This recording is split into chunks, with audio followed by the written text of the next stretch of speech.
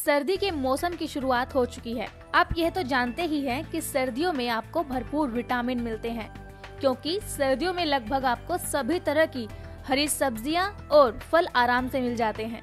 इन्हीं में से एक है आंवला, जिसे विटामिन का भंडार कहा जाता है। इन दिनों आपको जगह जगह पर आंवले बिकते दिख जाएँगे। ये मौसम आंवलों के सेवन करने के लिए सबसे अच्छा होता है। आंवले को पोषक तत्वों का पावर हाउस कहा जाता है। आंवला विटामिन सी का एक बेहतरीन स्रोत है।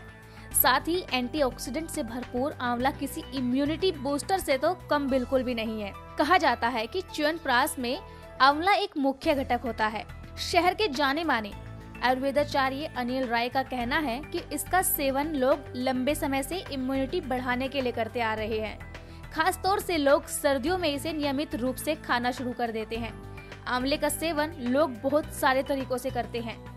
सबसे शक्तिशाली फल आंवला। आयुर्वेद की भाषा में आंवले को आमलकी कहा जाता है। कहा जाता है, ये प्रकृति में पाए जाने वाले सबसे शक्तिशाली फलों में से एक है। यह त्रिदोषों, वात, पित्त और कप को प्रबंधित करने का सबसे अच्छा विकल्प है। इससे आप आसानी से शुगर लेवल को नियंत्रित कर सकते हैं।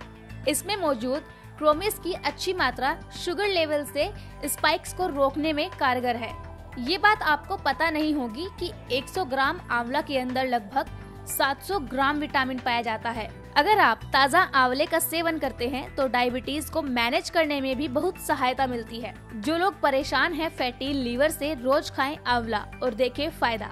आंवला अपने औषधीय गुणों के कारण ही 1000 से ज़्यादा वर्षों से जाना जाता है। ये संक्रमण सर्दी और खांसी को दूर करता है। इतना ही नहीं, बल्कि डायबिटीजन, कैंसर, दिल के रोग हाई ब्लड प्रेशर और किडनी से जुड़ी बीमारियों से बचाने में भी मददगार है। यहाँ तक कि लोग इसे बालों की झड़ने की समस्या से निजात पाने के लिए भी उपयोग करते हैं। आंवला करेगा आपकी पाचन संबंधी बीमारी को दूर। अक्सर सर्दियों में कुछ लोगों को कब्ज जैसी समस्या होती है। ऐसे में आपको फाइबर की अच्छी मात्रा के साथ आंवला पाचन संबंधी बीमारियों को दूर करने का एक शानदार नुस्खा है। डॉक्टर दीक्षा भावसार कहती है कि आंवला एसिडिटर वज़न कम होना, पाचन संबंधी समस्याएँ, डायबिटीज़, आँखों की रोशनी में सुधार के साथ साथ लगभग हर बीमारी में बहुत अच्छा काम करता है। सब्सक्राइब करें पर्यावरण पोस्ट।